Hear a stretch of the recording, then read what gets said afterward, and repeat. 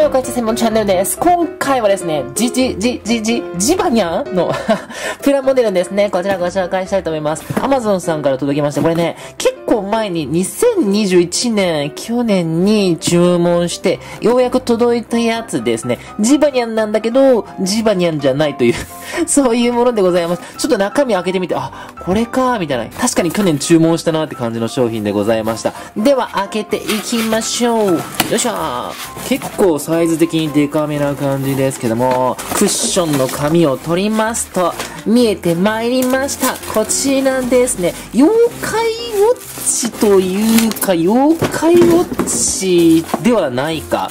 よいしょこちらですね、ババーン、小桜つぐみちゃんで、こちらジバニャンでございますわ。ジバニャンじゃなくて、ジバニャンね。これはですね、走行娘のまキャラクターなんですよね、小桜つぐみ。あの、声優が小桜悦子さんなわけなんですけどね、ジバニャン、ね、LBCS ということで、あの、まあ、言うてみたら、この女の子がですね、この機械みたいな姿にな、ロボットと合体したような姿になって、これで敵とバトルするみたいな、そういうやつですよね。めちゃくちゃ可愛いやんか。ジバニャンが女の子にみたいな、一見そんな感じもしますやんね。で、このプラモデルさ、意外と高くて、6000円ぐらいしたかな ?1 個のプラモデルで約6000円ってやばいですやんね。このような感じの造形になるということですね。いろんなポージングとかいろんな表情ありそうですね。面白そう。もともとなんだろう、レベル5となんかタッグ組んで作ったキャラクターっていうことかな。LBX もなんかその走行娘にちょっと出てきたりするもんね。レベル5のコンテンツのその段ボール戦記に LBX で出てくるわけですけどね。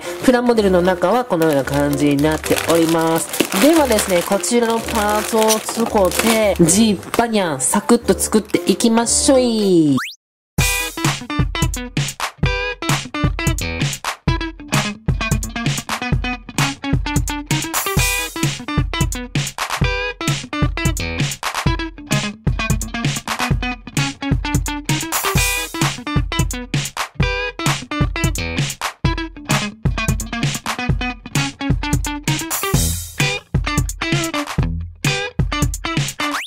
ということでですね、こちら完成しました。パッケージと同じポージングにしてみました。めちゃくちゃ可愛いですよね。これ時間ね、何時間かかったかな ?3、4時間かかったかな？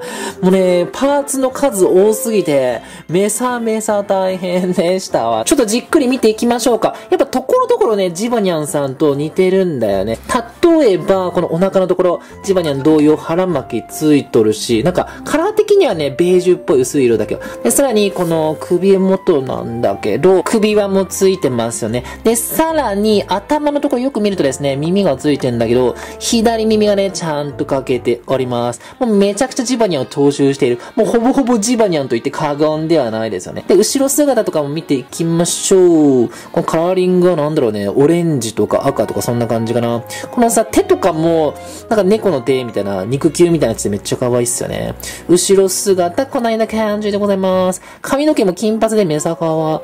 で、尻尾も生えてんだよね。ジバニャン同様尻尾も生えてるっていうね、こないな感じでございます。一応ですね、これ覗き込んだら、あのー、パンツは、この辺とかは人の肌なんだけど、この辺はロボで、なんかすごくいいっすよね。一応ですね、こちらちゃんと腕とか足とかね、こう稼働するんだけど、あんまり触るとね、すぐこうポロポロ落ちちゃうんで、頭とかこの関節、すぐポロポロ落ちちゃうんで、あんまね、動かしたくないのと。で、ちなみに表情パーツもいくつかございまして、可愛い表情のいっぱいありますよね。微笑んでるやつとか、ちょっとこう悲しそうな顔とか、びっくりしたようなやつとかね。ちなみに今つけてんのはこれね、ウィンクしてる表情でございます。ちなみにこんなんもございます。これはね、水転写デカールっていうんですかね。目をもうちょいこうキラキラっとさせるときに使うやつで、もうマジガチのプラモデル作ってる人らが使うやつですよね。もうジバニのやつは、もうマジレベチって感じですわ。ジバニのやつめっちゃね、可愛くて、すぐにできるし、パーツも少ないし、めっちゃいいんだよね。安いしね。てかさ、もう手順書がさ、めちゃくちゃしっかりしてるもんね。紙もしっかりしてるし、もう手順めさめさ多いしね。最後のページには、水転写デカールの貼り方とかも載っております。いや、クオリティ半端ないっすわ。めちゃくちゃ可愛いっすよね。これさ、プロの方とかは、また塗装したりするんよね。多分色変えたりとかするんかなって思いますけど、全然このままでもビジュアルいいですよね。なんかこう、パーツによってさ、色も全然違うし、こだわりが半端ないっすわ。後ろ姿もめちゃ可愛いですよね。なんか下半身はアイアンマンみたいな見た目でもあるな。